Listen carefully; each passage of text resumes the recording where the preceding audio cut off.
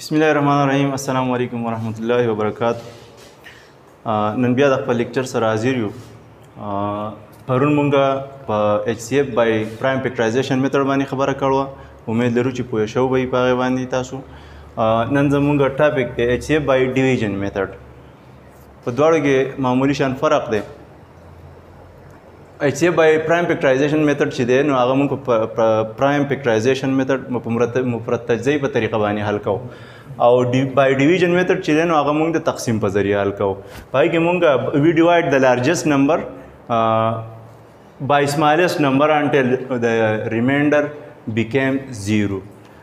مونږ لارجسټ نمبر راخلو لارجسټ غټه انسا غټ عدد راخلو په وړو کې عدد باندې تقسیمو دا هغه پوری تقسیمو چې کله زموږ سره ریمایندر چې کوم دی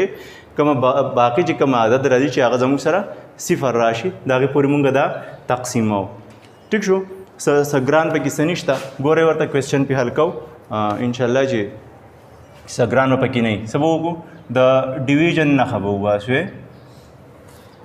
مونږ چې کوم عام سمپل ډیویژن کو سمپل تقسیم کو هغه سي نه خبو باسو دې ته وګورئ په دې کې چې کوم لارجست نمبر غټ عددي ور پکې هغه دلته دنه ولیکي نو لارجست پکې سره 98 نو دلته دنه ولیکي او چې کوم سمالست وړوکی ایتی لګ نو هغه دلته ولیکي ٹھیک شو نو وړوکی پکې یو 84 هم دی 72 هم دی ستاسو خوښه ده چې کوم یو دلته لیکي دواړه دواړو نه یو شان انسر راځي موږ پرس کا 84 ولیکو دلته ځکه چې اولنې 84 دی بل پسې 98 دی ټیک ده اوس به وکړو 84 له بدې سینسه کې ضرب ورکو چې د دین 98 پوره راشي یا کم دی راشي خیر ده خو چې زیات نشي څنګه چې موږ په عام تقسیم په عمل کې کوو نو 84 لکه موږ په 2 کې ضرب ورکو نو سیوا کیږي نو په 1 کې به ضرب ورکو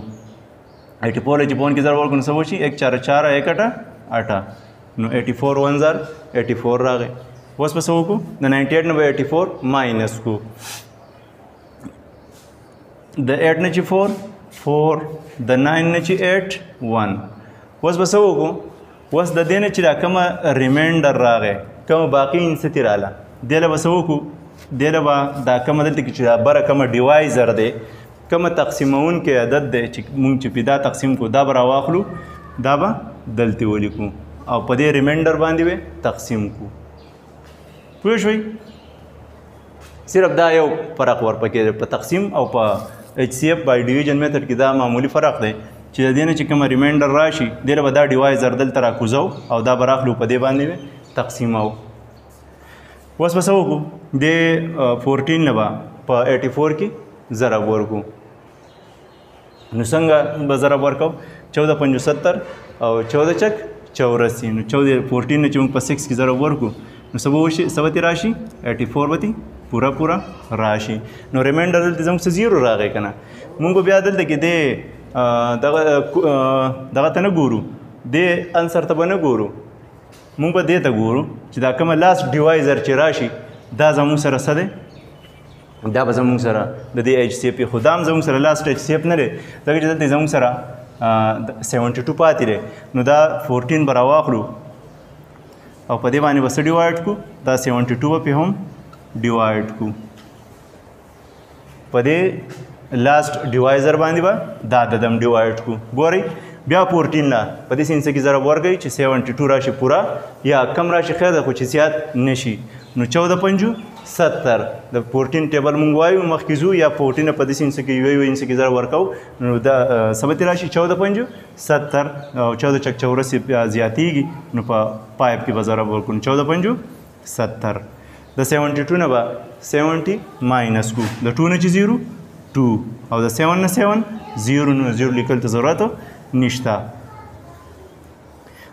ښه دله به وسو کو دله به وسم اق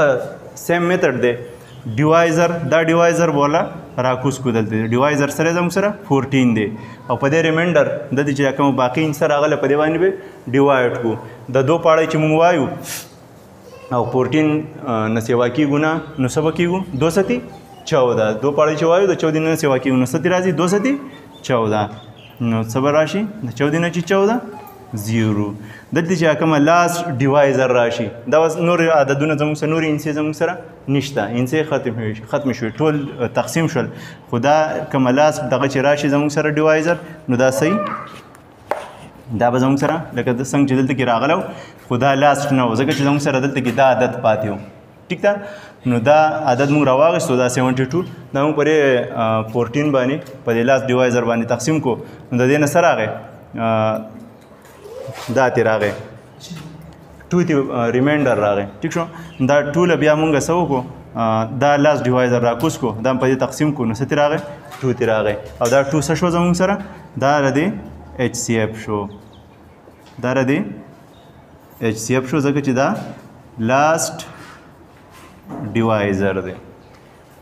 امید لرو چې پوه وئ او که بیا هم پکې څه مشکل نو کمنټس کې مونږ یا مونږ ته په فیډبیک کې دغه راکوئ ان شاء الله ستاسو مسلې به مونږ حل کوو وسلام